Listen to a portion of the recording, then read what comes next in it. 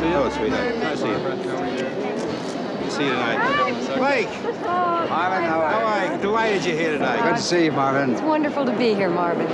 Thank you, Blake, for your most generous contribution to the Children's Diabetes Foundation. How can I ever thank you? Well, a child is a precious gift, Barbara. And all those kids are depending on us to find a cure. We're glad to help out. Thank you so much. We're going to make very good use of your chair. Thank you.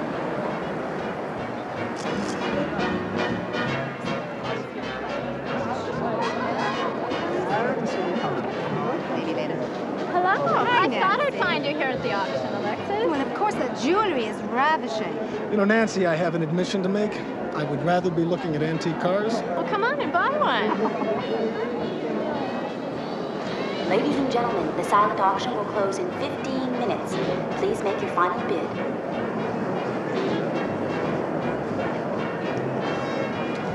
Mr. President, how are you?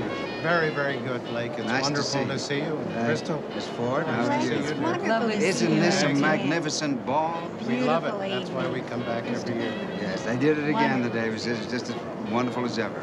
Well, we're glad to have you back. Right, nice to see you. Bye-bye.